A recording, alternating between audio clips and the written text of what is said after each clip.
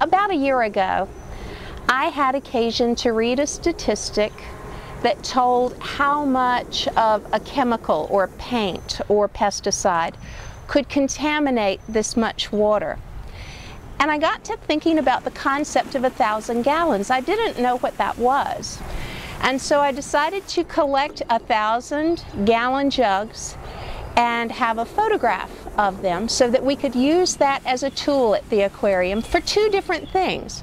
Number one, to help people to understand with an everyday item the volume of water in some of our exhibits. So now I'll be able to take this photograph, stand in front of Nickajack Lake and say, this is a thousand gallons. This is a thousand gallons.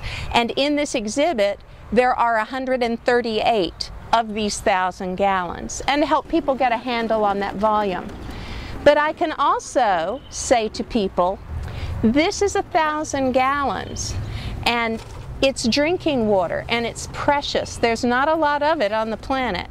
And all it takes to contaminate this much water and make it unsuitable for human use is this much of a pollutant.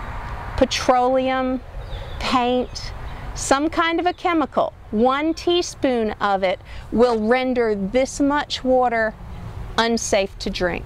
How we treat our water matters in a lot of different places. 40% of the lower 48 states drains into the Gulf of Mexico and the entire state of Tennessee is part of that. So when we protect our drinking water here at home, it makes a difference for a lot of people, a lot of animals, all the way down the watershed to the Gulf of Mexico.